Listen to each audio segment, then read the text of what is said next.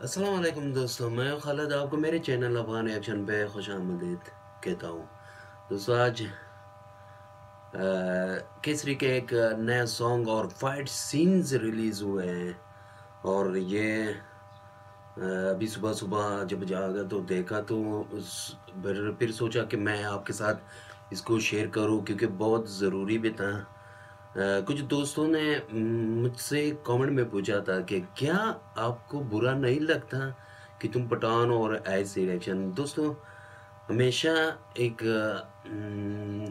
جب بھی دنیا میں اسری پڑھتے ہوں، کوئی کوئی بہت بہادر یا کوئی اچھی فائٹر کی جو اسری ہوتی ہے اس کی رسپیکٹ کرنا بہت ضروری ہوتا ہے۔ اس زمانے میں تو نہ امت نہ کوئی عورتیں صرف استری جو اس کی کہانی، جو اس کی بہادر، جو اس کی اسٹوری لکھی ہوئی ہے کتابوں میں، وہ ہمیشہ زندہ رہتا ہے اور جن لوگوں نے اپنی وطن، اپنی دیش کے لیے جان دیتا ہے، وہ شہید کہلاتا ہے اور اس سے بہادر کوئی نہیں ہے۔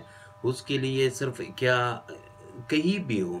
چاہے وہ افغانستان میں ہو، چاہے وہ پاکستان میں ہو، چاہے وہ انڈیا میں ہو جی، کہیں بھی جس بہادری سے جس، جتنی بہادری سے وہ لڑیں اپنی دیش کے لیے اپنے وطن کے لیے، اور وہ وہ، اس کو کہتے ہیں بہادر اور اس کو ریسپیکٹ کرنا سبھی کو کرنا پڑے گا۔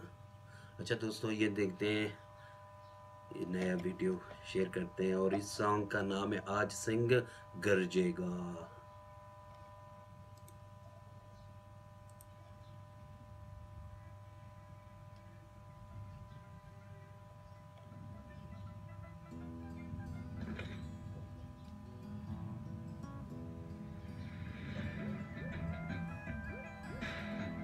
تیسرے رنگ کا مطلب سمجھتے ہو؟ بہادری کا رنگ ہے۔ ٹھیک ہے۔ میرے بات۔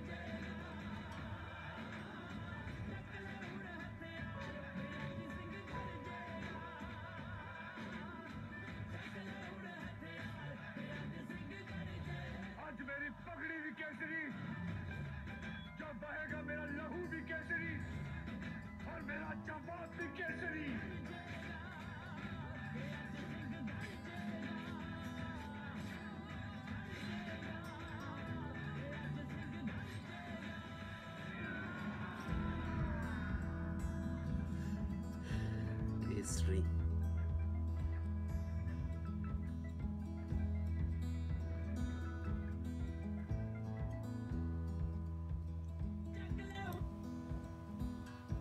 کمال کے یہ فائٹ سینز کمال کے ہیں جتنی یہ فائٹ سینز ہو اور یہ یہ اکشے کمار کے ایسا لگ رہا ہے کہ یہ بیسٹ مووی ہوگی اور ٹو پوائنٹ زیرو آیا تھا میں نے دیکھا تو اتنی اچھا تھا۔